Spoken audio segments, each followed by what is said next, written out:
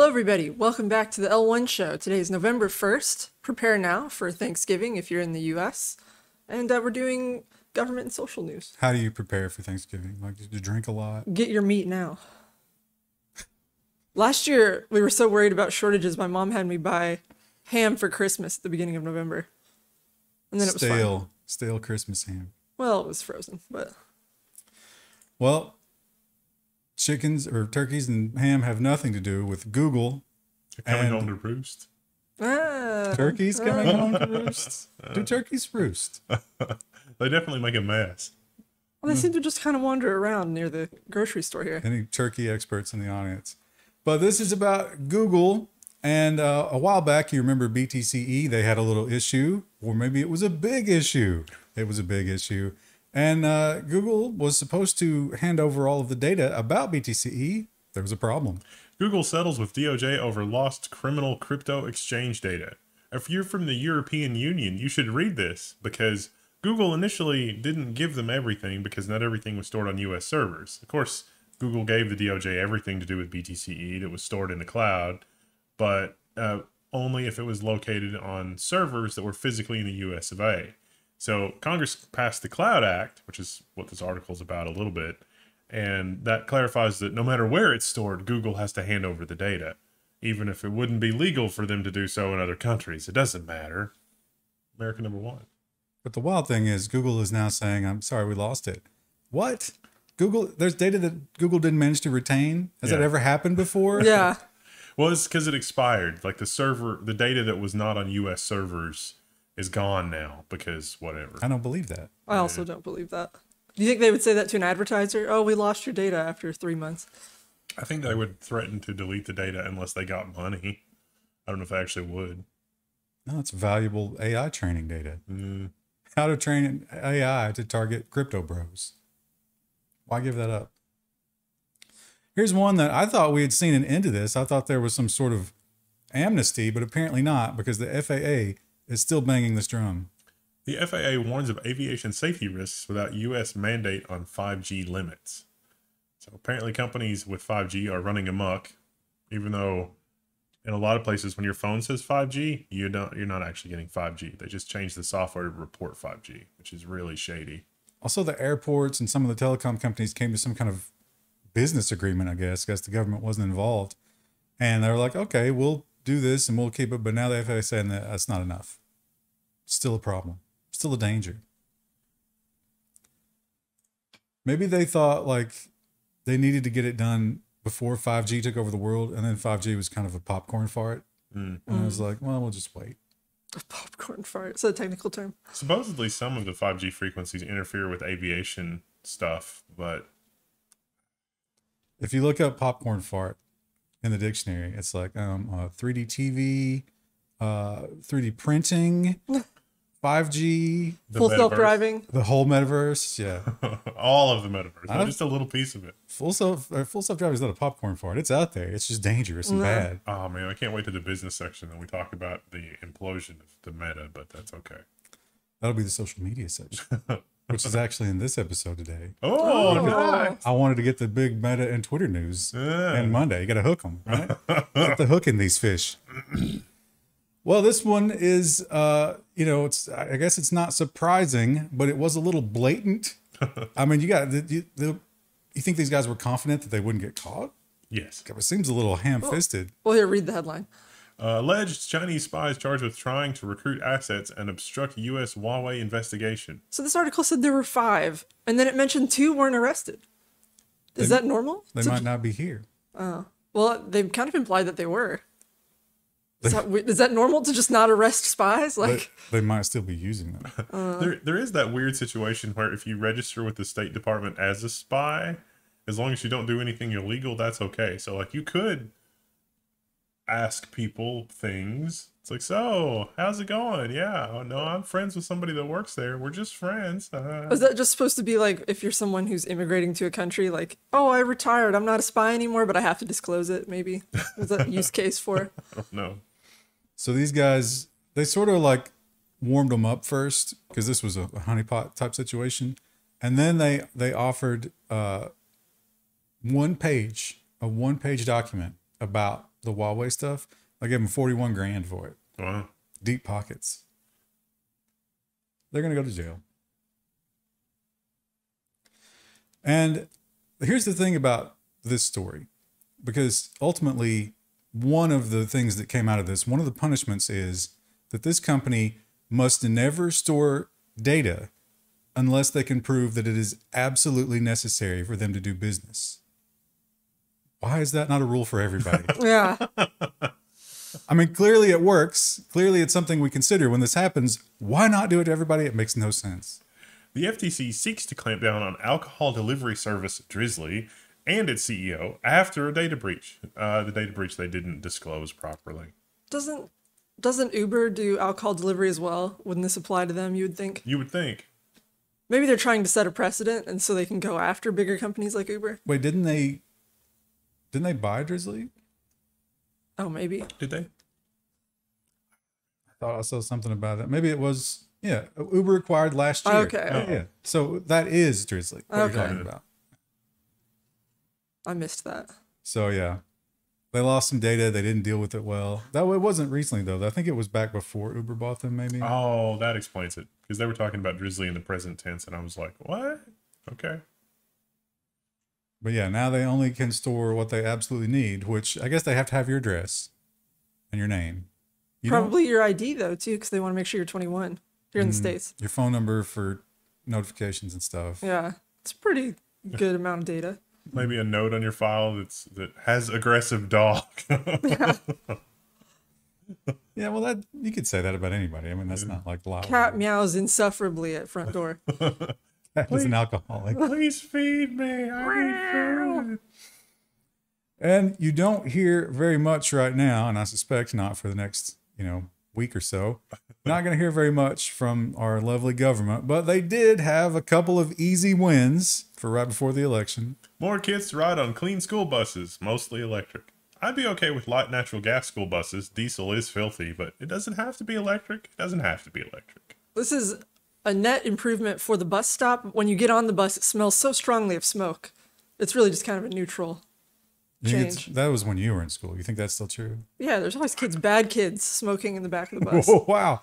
Way to paint with a broad brush. Yeah. Krista. What I sat in the front of the bus because I was a good kid. what if there's like some future, you know, superhero that's on that bus smoking? Uh, one of one of the bus drivers that we had, Elvis, he was really good at when the really loud, annoying kids got off. He was able to accelerate the bus so that he could give the second gear a burst of diesel as it was passing Just to like, the problem kids, and there would always be a cloud of soot that, that enveloped those those kids. It was great. Not Elvis Presley. just, cle- just clear that up. Elvis Presley's doppelganger.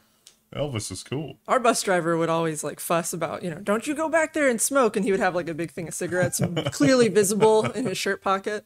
I was reading a thing how um, in the big city to the north, not the not the one next to us, but the, the biggest city in Kentucky, Yeah. that's Louisville. Uh, Good cover. They are having a, a terrible time staffing bus drivers because the kids are so out of control, That's true everywhere. and they're just like, I'm not doing this, any-" and they can't. they don't pay well enough to even Right. warrant. They can't do anything about it. They're like, yeah, I write them up and I hand in those papers, and nothing ever happens. Yeah. So I'm, I'm out. Yeah, that's true in literally like every county. The county that I'm from is having But there, it was creating massive delays. And look in the press release, they're like, "We'll get them there eventually." And you know, the kids gotta love that. Yeah. Well, that more was, time to smoke. that was true in uh, in Louisville many many years ago as well. Because my husband used to have to take two buses to get to his school. We did that as well. Really? Yeah, we had because I mean, it was the, it was it was, the per capita was so low. We were bused to one school where we could then board another bus to be bused to another school. Interesting. I didn't have to do that at mine. And the, the buses did double duty. The bus that was that would take us to the other school would drop off kids at the first school, so the times were weird. And you mixed the entire age groups all in one bus. which See, ours also didn't do that. They actually staggered the time so that way they wouldn't have to have like middle schoolers with elementary school kids. Probably in the ten years, the horrible lessons they learned in those first ten years. Yeah. like we're gonna stop. Stop doing that. Well, more and more we get in these stories, and um, you never, we never actually learn anything concrete. No. but we just keep generating headline after headline. NASA announces a team of scientists who will study mysterious UFO events in the sky. I did some digging into this, and the credentials of the people, like, they seem not terrible. So it's not like Dr. Oz is going to study Well, this. there was another story we did a while back where I looked up the guy and he seemed also fairly legit. He wasn't just like a conspiracy theorist. So I was like, wow, that's interesting that we're getting more and more legit people looking into it. Yeah, I mean, can you can you imagine a committee that basically is is you know like Dr. Oz and then that guy that's got the daytime talk show and like Jerry Springer? It's like how would you even accomplish anything? The ancient aliens guy. I'll, Yeah. be, I'll be fine to replace almost anybody in government with Springer. I think he would. It would probably get it done. I don't know Would if it he'd be get more or less white trash? be entertaining. so they did admit here that this is not, they're not going to necessarily study UFOs. They're going to study how to study UFOs. Neat. Meta. Very meta. Oh, they better not use that word. Mm. And Clearview AI, oh my God, are they horrible?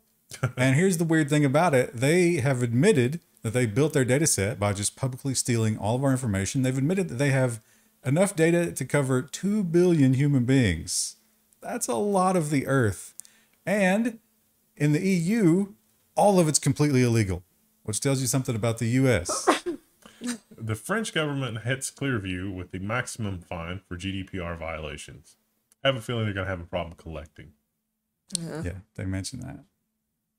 But if Clearview ever wants to try to put a data center or something over there, it's going to be an issue. As it should be. As it should be anywhere they try to put a data center. And yet, And we often find that when horrible leaks happen, when bad things happen, it is a third party. It's the supply chain. It's not us. We hired those people. And I think it's time that, yes, you should be responsible for who you hire. Outsourcer Interserve fined 4.4 million pounds for failing to stop cyber attack. Good lord. What was it? Uh, 113,000 employees. They got phished. They there was like a, a bulletin in the internal software. Someone submitted a support ticket for an antivirus flag, and no one followed up. And then massive data breach afterward. Maybe take those seriously. Super. We have a new leader here in the UK. There's a lot of darkness there. I've been doing a lot of reading about that, gentlemen. Ooh, it's not good. Guess what we're getting? Digital currency for sure.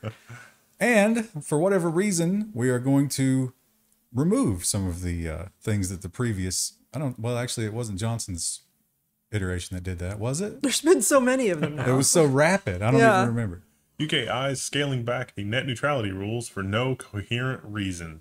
So Techdirt has the write up, and there really isn't a. It does seem like there's a shadow conspiracy here from ISPs to say, "Hey, we'd like to charge more for the same connection and the same data." I don't know how shadowy it is. It's pretty blatant. Yeah. It's interesting. They got this uh, paragraph in the italics here. We won't read it. It's kind of long, but the argument is kind of what uh, AT and T went with, which is like, well, we can't give special packages to poor people if you don't let us do whatever we want. So you're really net neutrality is against the poor's. That's not true. Hmm. And also, there's no competition. They don't have any competition over there either, which Yeah, is weird. it's, it's really just we're gonna see what the most creative way we can bill you is.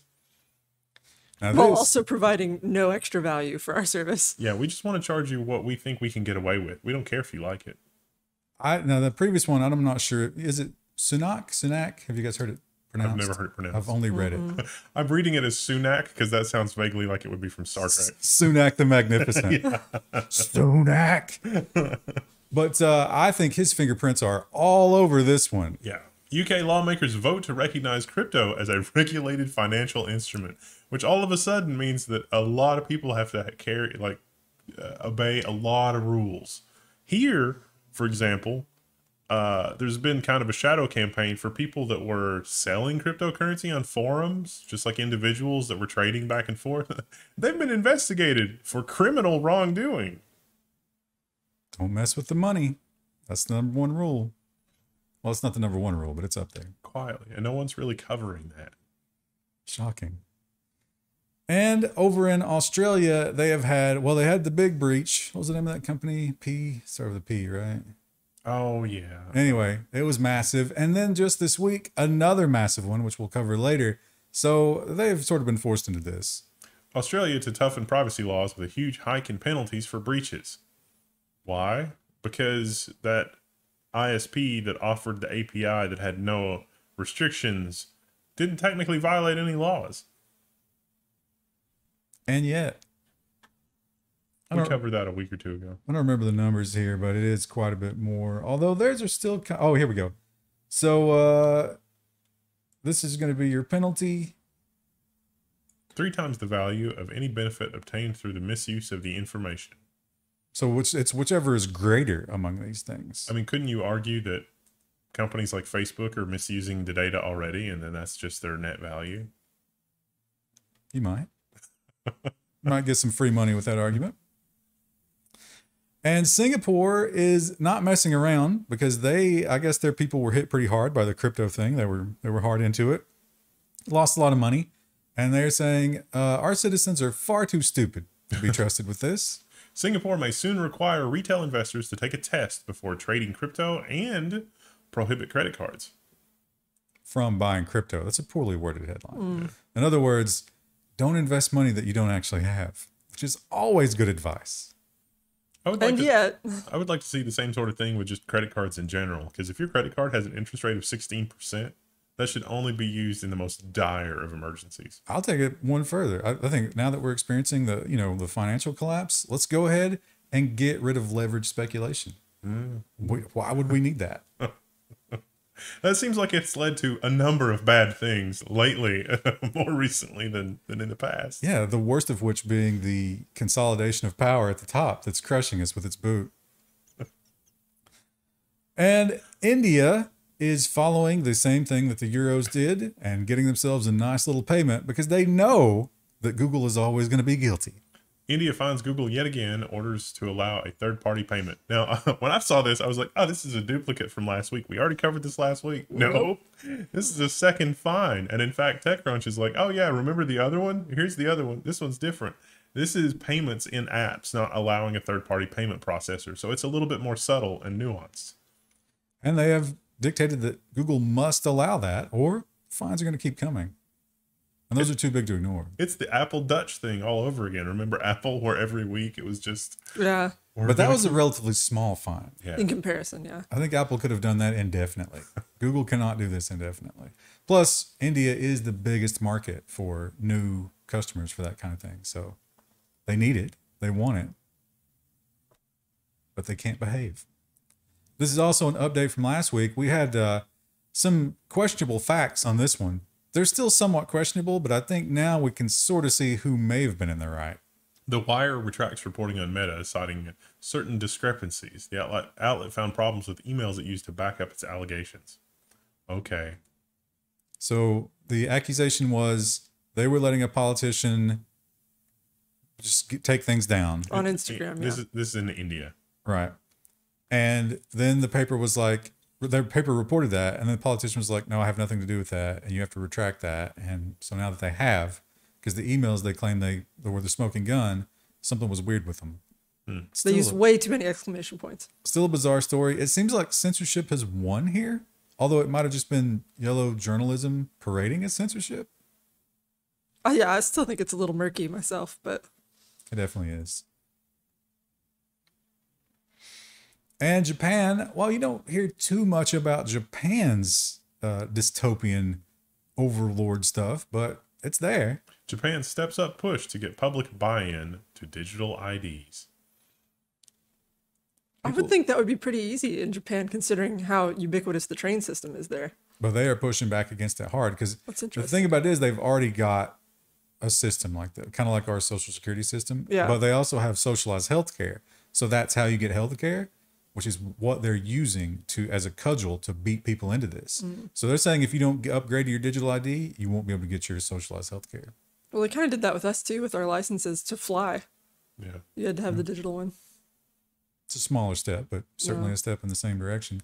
And there's a lot of good arguments against this. And the Japanese people, the quotes in this article, they made them very succinctly and, you know, poetically in some cases. And the response for the government was, look, you just have to do it. Like that's literally I, I can't remember if that's the exact quote, but I'm not paraphrasing very much right there. He basically said, "Oh yeah, here it is. You You just, just- have to do it." Great. Thanks. That's that's the explanation from the government. Hmm. I remember when they told me that about something else a couple years ago. if I we don't have it. this, we can't go to the social credit score system. Oh wait, you're not supposed to know that. Oh, this is a hot dose of dystopia for the week. Yeah, and uh, Krista, I feel like every time I say this word, you should say it in your style right afterwards. So we have the the line city of Neom, Neom. and that's it's a real thing. It's still coming. They assure us that Construction has started. it is still coming. And After they persecuted the tribes that live in the direction of the the well, line, you know, we knew that had to happen, right?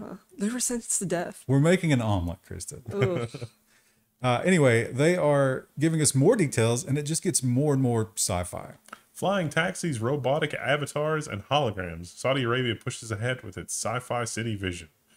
What you can do is you can wear your Facebook Meta headset, and your robot avatar can go outside for you, so you never have to leave the pod. Doesn't that sound exciting? I love this. This article feels like a fluff piece, but my favorite line in it was talking about how they were trying to attract like top tier talent. I was like, oh, is that like architects and stuff? And it was like, no, CEOs, hmm. and they're paying like millions and billions of dollars for CEOs, and it's like, what? Now they did tell us some new information about Neom, Meow. and it, it turns out it's going to be three different things, not just the Line City. The Line City is going to be there, but also there's going to be a mega factory floating in the water, and there's going to be the uh, sporting facility, which we learned about previously, because they're going to do those Yeah, Winter Winter, Games Games. there. yeah. The, the floating city thing that reminds me of that. There's an Arrested Development joke where the the girl draws the the floating city and Crown. but it's not a city; it's a mega factory. You live Totally different. you live in the line city and then you are you know Bust out. like well yeah well there, there's no cars or anything Yeah. like that so it's going to be some automatic form of transportation to take you to your factory job for 18 hours and then you come back to your pod the the sidebar on that article had like related stuff and one of them was like uh people from saudi arabia are really adjusting to their new work week and i was like oh are they doing a four day? And it was like no it's monday to friday. Hmm. Oh they took impli- saturday out yeah they finally have weekends now. And now we move to social media and you all know well i guess the biggest social media story is not this one. This was the biggest until just uh-huh. yesterday. Meta shares plunge 24% to the lowest price since 2016. Just like that, $700 million gone. Yikes. And a lot of people are saying that this is squarely on the shoulders of one man who doggedly pursues this metaverse thing at the risk of everything else. And some people who have some dogs in this fight are saying it. CNBC has the headline Meta shareholder writes critical open letter saying the company needs to slash headcount and stop spending so much money on the metaverse. If they were to stop, if Zuckerberg came out tomorrow and was like, okay, the metaverse is gone, I'm done with it, it was a bad idea. I'm going to focus all my efforts onto Facebook. Do you think they can turn it around at this point? Facebook sure. is dead, right? Yeah. Uh, it's, it's, uh, we covered, I think it was in the episode when Facebook was worth like a trillion dollars or it was close to a trillion dollars or it was some obscene valuation. And we looked at it and we said, you know, how is this worth more than a company that makes actual widgets? Like some company that makes PVC pipe in rural Minnesota is probably worth more than what the product that Meta has. Isn't it funny that they are now actually making something and Yeah. it's just terrible? Yeah. the The headsets, you mean? Yeah. Yeah. the thing I've been thinking about with metaverse is like it might be one of those things where he's going to tank the company, but he's like 20 years ahead of his time. Because think about the kids who are like in Fortnite spending their mom's money on skins and stuff. They probably would love the metaverse eventually, but But I- he's too early for it. But I don't think he's able to. oh, Honestly, I mean, let's face it. Epic accidentally made Yeah. Fortnite. They didn't know what they were doing. Let's not forget Roblox. What's all those video games where it's like all skins and like it's a virtual world, but you pen, spend a lot, spend a lot of money on it. The spend. As much as I dislike it, PUBG invented that. Yeah. Yeah. Oh, And Fortnite was just like, well, I guess we'll copy it because our game sucks. And then for some reason, I, the world accepted it. It's because you also got construction. So it's like the Minecraft, and you remember it's just. But I thought how- they removed that now. No, there's a mode that removes, but there's all kinds of different game modes. But I think hmm. Not even Gen Z, but the generation after that, I think the metaverse might strike a chord with just because they've been raised in that kind of environment, but it'll take a long time for it to catch on. Does can so can they survive that? I don't think so. But No. the other thing is, uh, the construction thing. When it was just the construction thing, it was a failure. Yeah. They had to put in the King of the Hill Yeah. mechanic for it to. Well, now they have an Among Us mode too. Like there's all kinds of different game modes. It's it's something to do that's entertaining, but that has a component that lasts. So you feel like you're building something that you can keep with you, and that is the thing that sucks you. It will eventually suck you into the metaverse. Is you spend a bunch of time in it, and you have something that exists there that's persistent, that's yours, that you can take with you. So I get it. I mean, I get. Event. I could see that if you have augmented reality and you can make notes in reality that you can see if you put on an augmented reality head, I could see how you would get dependent on that and you would need that in order to function. But eh, we're not there yet. See, the way I get around that, when I want permanent messages, what I do is I store my notes in the Google Assistant. Oh, oh no. well, over there in Turkey, they are also unhappy with Facebook and all of its various ilk because of super profiles. Meta hit with antitrust breach in Turkey for combining user data across Facebook, WhatsApp, and Instagram. That's not allowed because it makes it really hard for people to leave the platform, and also for you to get more people in like infer information from people. They did it, Eighteen million dollars. which is not a ton. It's what like ten cents a user. It's pretty affordable. Maybe they'll do it again. They'll probably do it again. And you might be thinking to yourself, hey, we already did this story. No, that was Australia. That was Australia. So now the other royal colony, who is completely controlled, has to do the same thing.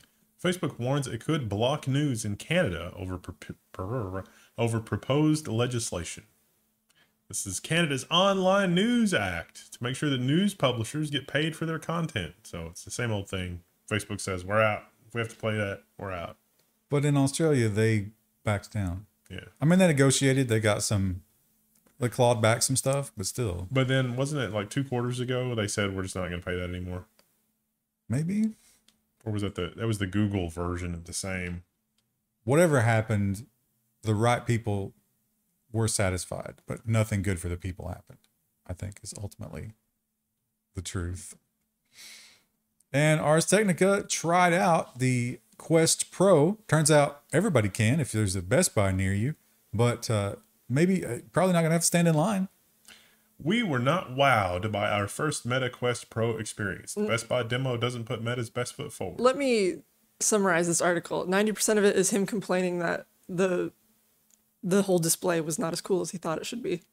Yeah, this guy was Yeah. definitely, you know, he was he was ready to to write a hype piece, Yeah. but they didn't give him even enough for a hype piece. he was like, I couldn't find it was just tucked away in the back of the store. There was no signage for it.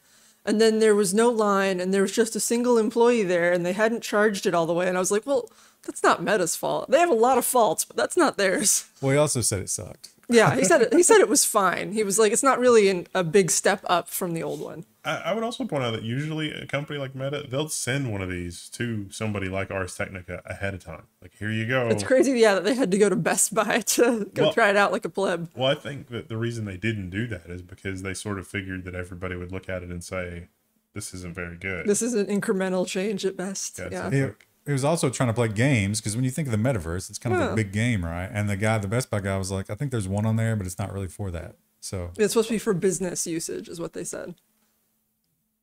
business in the metaverse, like that seems to be the latest push, right? And that seems like the least likely way anybody would ever want to use that. We're we're webcam.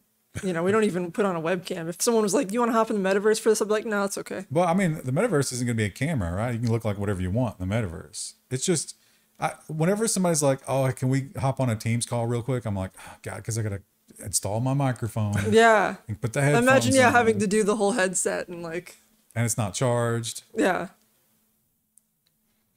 But the metaverse must continue. And uh, did you guys, after reading this article, I was not able to ever work out how do you actually get to this? Yeah, no. What technology is this?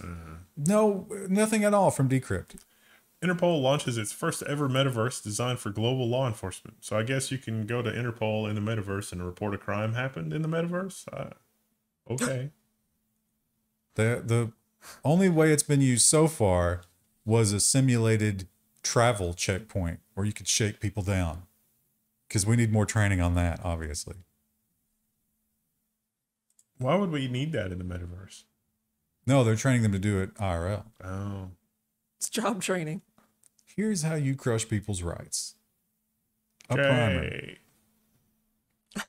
And then like the little training dummy, it's like, oh no no look, they they still have ten percent sliver of happiness going through this airport. we need to crush that down a little bit more. So not even a Cinnabon can make that better. I'm seeing one pixel of free will over there.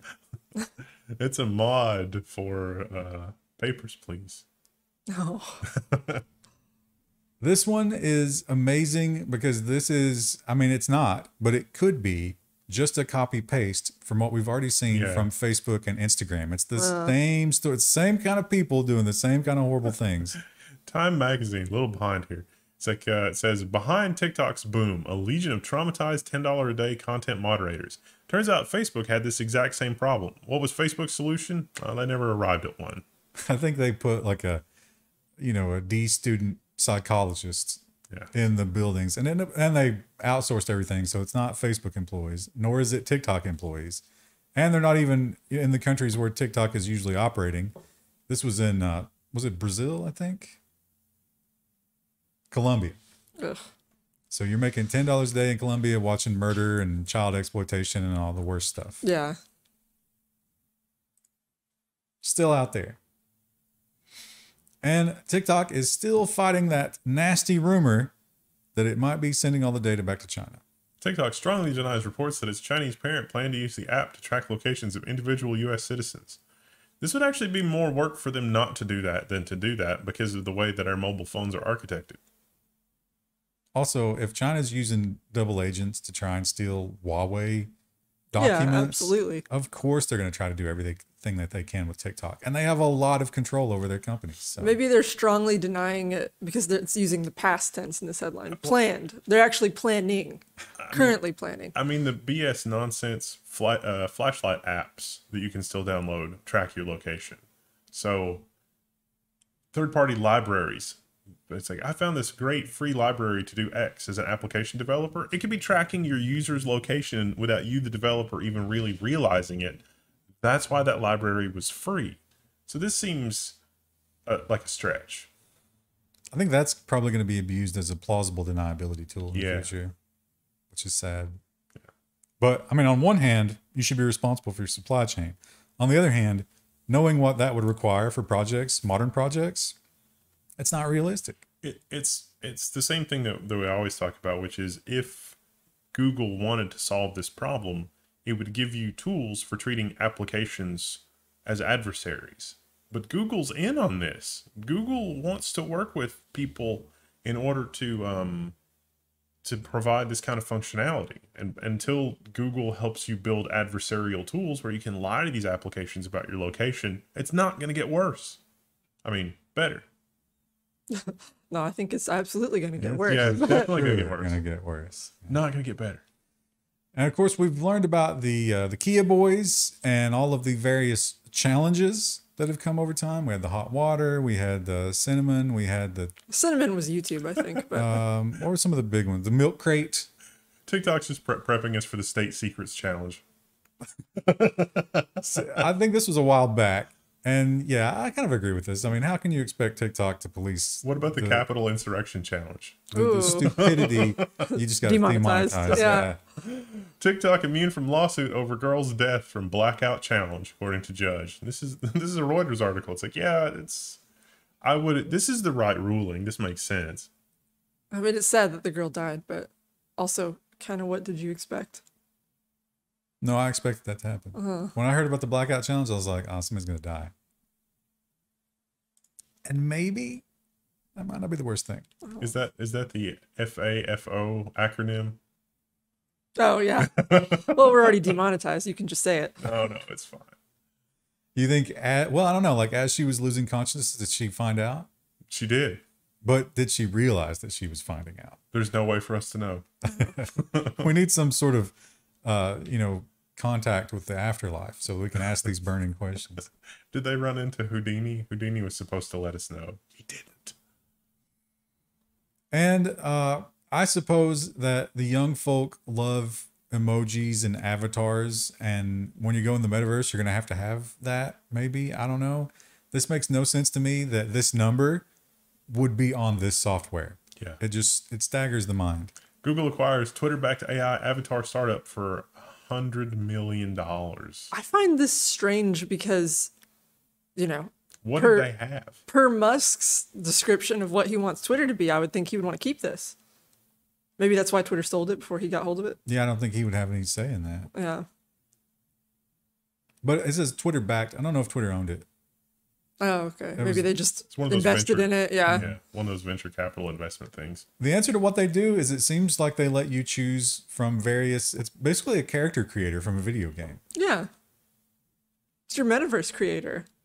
Can you export it to the metaverse though? I don't know if that's true or not. Not yet, but Right. they're building it, I'm sure. Can you imagine in the next Fallout though, when all these these cool AI tools are in- imported into a video game? I want to go in the Fallout character creator and describe my character's backstory, at least some of it, and then have that fed into the AI to create the character. And it's like my Fallout character was a you know a grizzled maintenance shaft worker, And they'll like reference it in some of the dialogue from yeah, time to time. yeah, that would be who cool. kept the bunker you know alive, but has a, a horrible facial scar from a steam pipe that exploded when he was working in the vent pipes as a teenager, and and he's been a little bit of an outcast ever since then. And then it you know builds the avatar and the backstory and all the other stuff. And you could just imagine that in your own mind. no.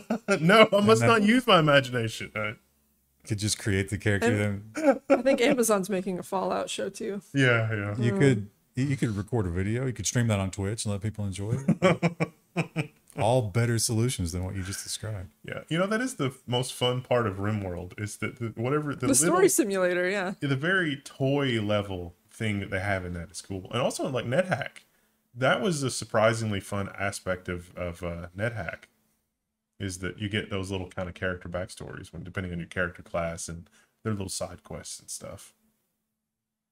And this has got to be the story of the week. Uh, We've all been waiting for it. For once, he didn't wait till Friday.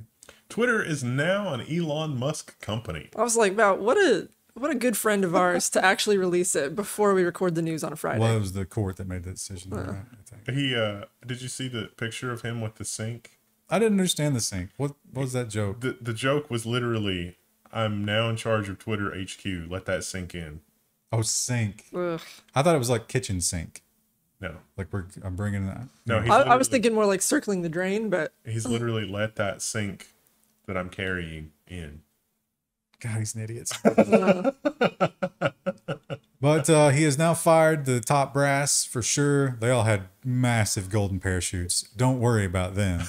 And I believe the uh, the rank and file layoffs. I, I didn't see a headline, but I saw a red bar earlier as we were just looking at those. The one lady, uh, the one of the it was like the social policy something executive, very you know lower tier, I gather. Um, was said something to the effect of, you know, I'm really excited for this. This is, you know, I'm, I'm really glad.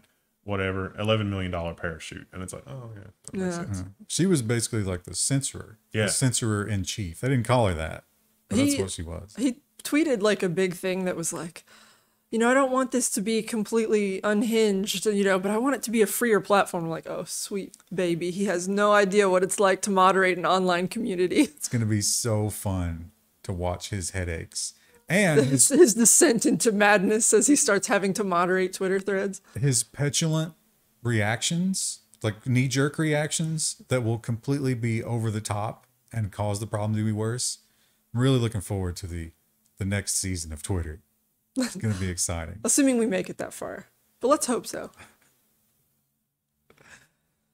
All right. Well, that's an unusual day that we did social on Monday. So or Yeah. Tuesday, I'm sorry. And so on Wednesday, it will be business and security. Woo! We'll see you guys then. Bye.